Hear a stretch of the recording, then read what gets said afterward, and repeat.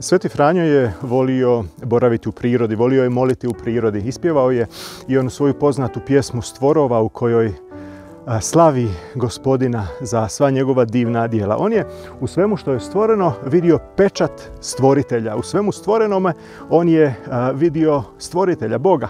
Nije za njega priroda bila Bog, nego je on vidio Boga kao tvorca te lijepe prirode i zato je često boravio u prirodi i često je molio u prirodi. Isus je volio poći u prirodu moliti. Znao je uzići na brdo i u prirodi se čak i preobrazio. U prirodi, u Gecemanskom vrtu proživio je svoju agoniju, ostavljenosti, proživio je svoju izdaju i evo tu se zapravo predao u ruke svom ocu kada je rekao neka ne bude moja volja nego tvoja volja.